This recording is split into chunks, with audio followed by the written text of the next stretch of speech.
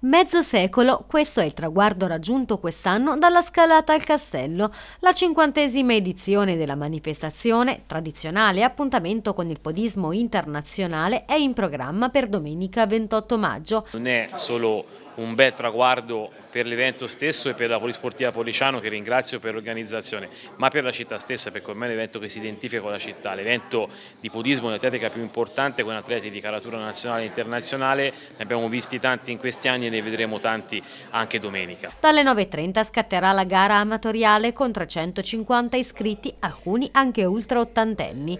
Dalle 16 cominceranno poi le gare giovanili che culmineranno con la gara internazionale.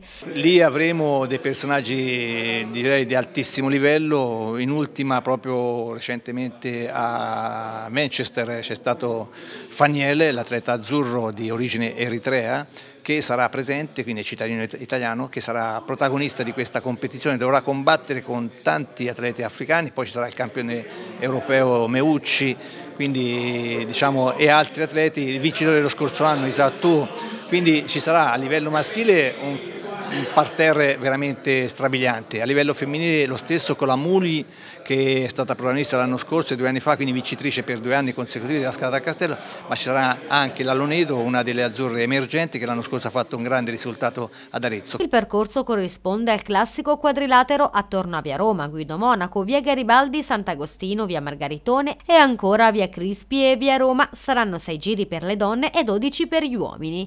Durante la corsa la circolazione sarà interrotta per il tempo necessario al passaggio degli atleti sia al mattino che al pomeriggio. Facciamo sì che domenica sia una giornata di sport e noi faremo sì che, di, dare, di far sì che i disagi siano limitati, sia per i residenti sia per tutti i visitatori che si vogliono godere nella nostra città. Il ricordo infine quest'anno non può che andare a Giorgio Cerbai scomparso recentemente. A lui sarà dedicato un minuto di raccoglimento mentre metà di quanto raccolto con le iscrizioni verrà destinato all'Emilia Romagna. Ci è sembrato doveroso in questo momento di difficoltà che hanno molte famiglie diciamo, vicine a noi.